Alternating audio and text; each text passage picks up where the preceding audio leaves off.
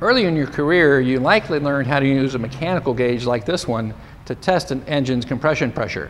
If you found a problem though, the follow-up tests were often bulky and time-consuming to say the least. Wouldn't it be neat if there was an easier way to do the same thing and more? Well, there is, and that's the topic for this edition of The Trainer.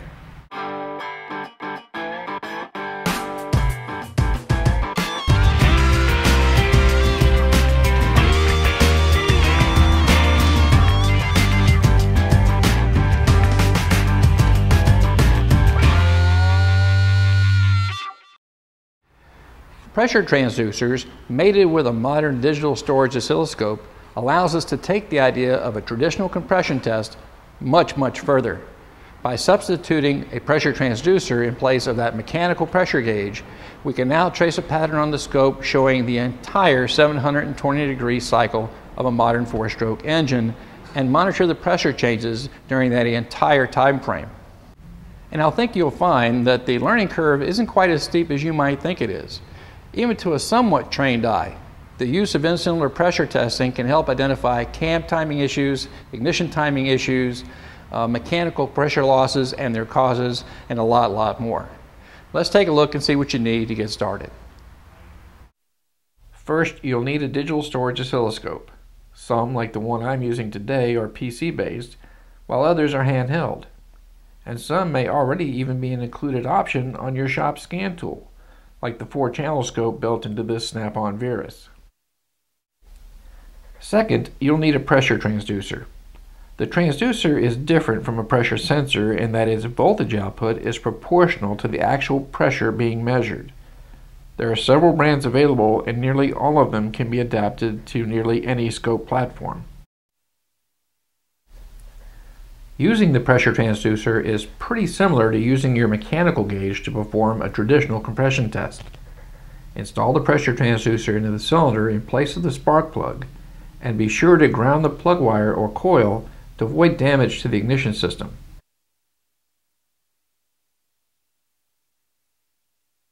To avoid washing the cylinder down with fuel while we're performing these tests, it's a good idea to disable the fuel system. In this case, just simply by disconnecting the fuel injector.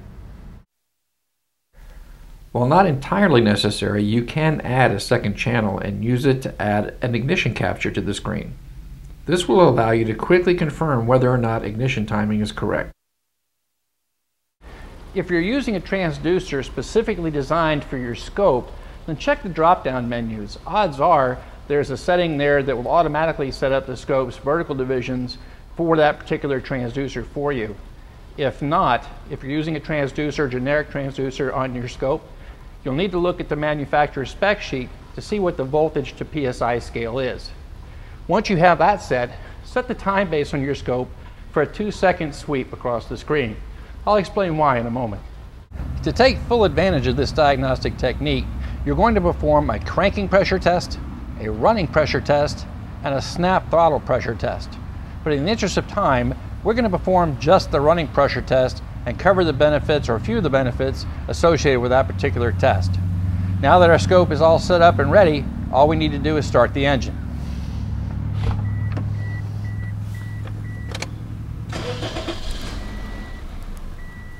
If you're diagnosing a general drivability problem on a V6 or V8, you'll want to perform this test on both banks. If you've identified a specific problem cylinder, or you're looking for the cause of a specific cylinder misfire, of course you'll want to test that specific hole. The first thing you should look at is the consistency of the peaks. These peaks are top dead center on the cylinder's compression stroke and should remain relatively equal. Varying peaks means varying compression pressure, and significant changes may indicate that something is not sealing when it should and an engine mechanical problem exists. Let's take a look at the actual waveforms that we captured on this 2007 Toyota Corolla equipped with a 1.8 four-cylinder engine. Uh, this was taken on the number one cylinder and the first thing I want to do is take a closer look at one individual 720 degree cycle. So on this particular scope I'm going to use the zoom function to narrow that out. So we'll just open up one See when that's opened it up, now I get it a little bit more so I can focus just on one 720 degree cycle. Now here's what you're looking at. This is peak to peak. And the peak, let's first talk about that. The peak that you see here is peak cylinder pressure, top dead center of the engine's compression stroke. One key point I want to make here, there is no ignition event. We are not igniting any air-fuel mixture in the cylinder. This is strictly a record of the pressure variations occurring in the cylinder strictly from the mechanical process in the cylinder alone. Okay, does that make sense to you? So the peak is at top dead center of the compression stroke. And of course we can use that as a running pressure reading. Uh, or if you're doing the cranking compression, of course, that should be the same as you would read on your mechanical pressure gauge. What's also interesting to note about this peak is that this represents the point where the piston has gotten as close as it's going to to the combustion chamber, to top dead center. It is fixed, it is reliable, it is always going to be your TDC reference. So if you wanted to compare when the ignition is occurring related to TDC, or when an injector event is occurring related to the crankshaft timing or TDC, this point is always fixed, always reliable, always TDC. Uh, now let's just take a look at how that would apply. I'm going to come back and I'm going to add channel 2, which was our ignition trigger. Uh, this was off the igniter for the uh, Toyota's number one coil-on plug ignition coil. And then I'm going to take a cursor and I'm going to move that over to that peak. Okay, this is when the ignition, the spark event, occurred. The spark fired, it did it outside the cylinder, but we still have a record when it fired for this cylinder. Now you notice it's occurring just before top dead center. Isn't that when it's supposed to occur? If I want to take it one step further, I can take the second cursor and place it right at the peak and measure the time. In this case, about 4 milliseconds. Now I'm going to take one cursor and I'm going to place it on the other peak. Okay, that's a total of about 160 milliseconds. You can do the math, figure out the percentages, do it however you want you want to do it. But if you mention right, uh, what I said earlier, peak to peak is 720 degrees of crankshaft rotation. If that took 160 milliseconds, then 4 milliseconds, the time that we just measured from our ignition trigger to the uh, pressure peak of 4 milliseconds would represent about 18 degrees. So we have an actual ignition timing, actual ignition event occurring 18 degrees before top dead center on the compression stroke. Can I compare that to specification? Of course I can. Here's another example of where this comes into play. Anyone ever seen a sheared keyway for a crankshaft pulley so that the pulley was able to shift in relation to the crankshaft away from where it's supposed to be. Wouldn't that keep the cam and crank sensor signals in sync though? That, that relationship hasn't changed. And isn't that what the ignition event is based on? So if I saw the peak here way to the left or right of where it is now. Doesn't that indicate a problem? Something is affecting spark timing, something that I need to investigate and find out what, what the cause is. Maybe a shear key, maybe a timing belt or a cam chain or cam out of time. Not sure exactly, but it's a very quick way to see if something's not the way it should be. Again, this TDC peak is always TDC for real. That's not going to change. Okay, let's take a look at uh, something else we can do with the cursors. Again, I've got this measured from peak to peak, 720 degrees, comes in at about 160 milliseconds. We're going to use that for a nice round number. Now, in order to understand what's going on here, this is, uh, again, 720 degrees of rotation. The full four cycles compression, power, exhaust, intake, and compression again of a four-stroke engine, correct? Well, if I want to see exactly where those TDC and BDC, top dead center and bottom dead center components are, can't I take that 160 milliseconds and divide it into quarters? Sure. So 160 divided into quarters, that's 40 milliseconds. If I take these two cursors now and place them 40 milliseconds apart, now my second cursor, the one that has the, the, the mouse on it, is representing bottom dead center of what? The power stroke, correct? And what occurs near bottom dead center of the power stroke? The exhaust valve opens. And that's what you're seeing. This pressure change here is where the exhaust valve is opened. And instead of a vacuum, we're now taking air from inside the exhaust chamber and drawing it in to balance out the pressures within the cylinder. Okay, next step on 40 times uh, 2 would be 80. We're going to bring this over now about 80 milliseconds. This is now top dead center of what? The intake. Excuse me, the exhaust stroke. The exhaust stroke. I got a little confused there because at the top dead center of the exhaust stroke, what happens? The intake valve is open at the same time the exhaust valve is, doesn't it? It's an overlap period. But you can still see right here where the intake valve is starting to open and the ramp following it shows now the intake valve is indeed open. So all that manifold vacuum is now being drawn into the cylinder. Because the piston is moving from what? TDC to bottom dead center. So it's drawing in that next air, uh, air charge. So let's take it now with 3 times 40, 120. And We'll place that about here. It's a little off right about there. Okay, now we're at bottom dead center of what? The intake stroke. Shortly after we reach bottom dead center, the intake valve is going to close. You can see that right here. Cylinder sealed and then starts moving finally back up to where we started at the beginning of the compression stroke. So you can get an idea of what's going on, you know, using the cursors. I've often taken with my Picoscope uh, the screen capture and then uploaded the capture into Windows Paint and used the Paint program to actually lay out these four markers so I could see it more clearly. This particular platform though has a nice feature. Let me show that to you.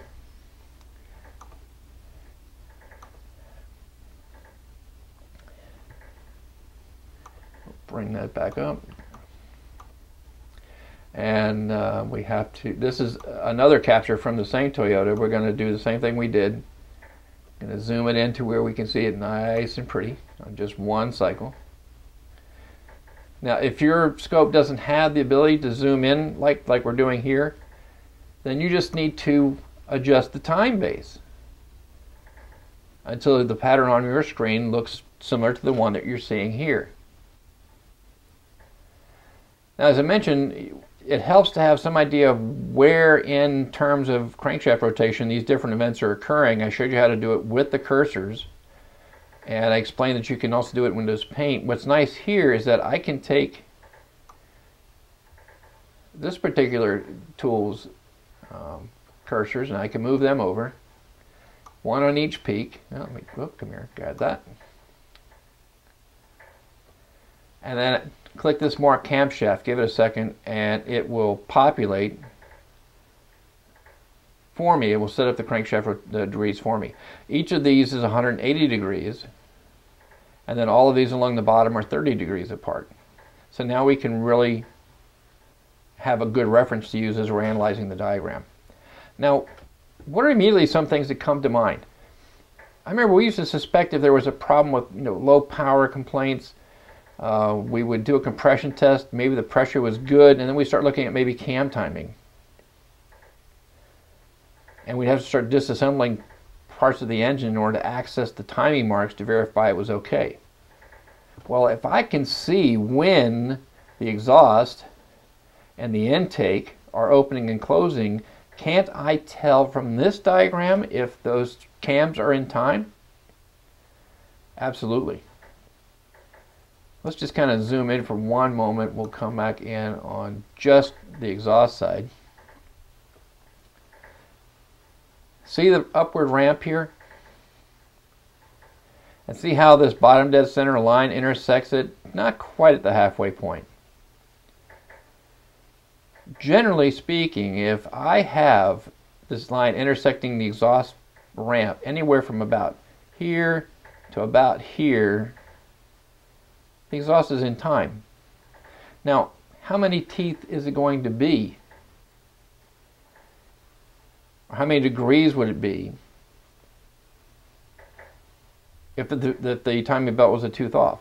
10, 15 degrees? Well, we said these are 30 degree markings, so we'd actually see this ramp shifted over one side or the other, you know, maybe somewhere in the halfway point. So it'd be a significant difference. It's something you would be able to see pretty easily. All right, let me go back to the main pattern. Let's see if we can get that get that back. We'll start from scratch again. And pardon me if I seem to flubber a little bit. Uh, I'm still fairly new to this particular platform, still kind of learning it. So if I'm not uh, as smooth as maybe I should be, it's just like any other tool. There's a learning curve. It's, uh, it's very easy on this one. And we'll go back and mark the camshaft again. And you can see they have the same thing here on the intake. Now, because we have an overlap period, the actual opening and intake valve may not, may not always be easily distinguished, but this ramp is always going to be there. Once the exhaust valve closes, the intake valve is open. Okay, now we have the ramp as the cylinder draws into vacuum. And this is going to occur again shortly after TDC.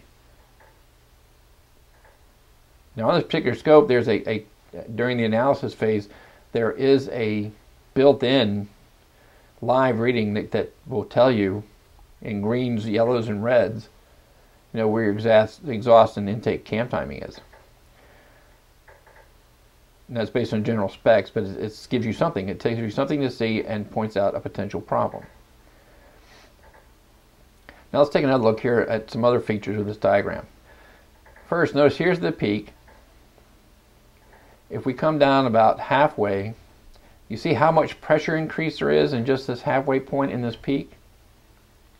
that's only about, what, 30 degrees of crankshaft rotation. So it's interesting to note that most of the compression pressure built up in that cylinder is occurring in only 30 degrees of crankshaft rotation. Now what do you think would happen if there's something in here causing a leak, a loss of compression? Because what we're doing is we're starting off with X amount of air in the cylinder, and then we bring the piston up, and based on those old laws of physics, as we close that space that that same amount of air is trying to take up, pressure is going to increase, and as a side note, so is temperature. So the pressure is increasing as we're squeezing that amount shut. Now, if there's not as much in there after we get to the top because it's leaked out somewhere, won't we see a difference here in the way the pressure changes coming back down? Yes, you sure will. And what you'll see is instead of this being uh, symmetrical in shape, it'll become asymmetrical. It almost looks as if this tower is leaning to one side or to the right side, if you will, if there is a mechanical loss of compression. The other area that you'll notice here is what's called the exhaust pocket, this area right here. This should be relatively the same as the intake pocket over on this side of, the, of this uh, pattern. If there's a mechanical loss, this will drop lower. The reason being is that we have less air when we finish than what we started with. And there's more of a vacuum created. Okay. Um, next point, as we're coming down on the power stroke, you'll notice here, here's a nice round smooth transition as we near uh, bottom to center and then all of a sudden there's a noticeable shift. See we can zoom that in so you can see it. Well, again, getting used to the tool. See this noticeable shift here? That's definitely where the exhaust valve opened.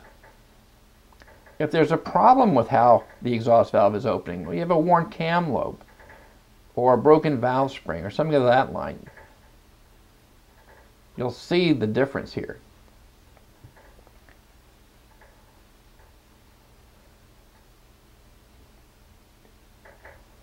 Uh, let's see if I can turn.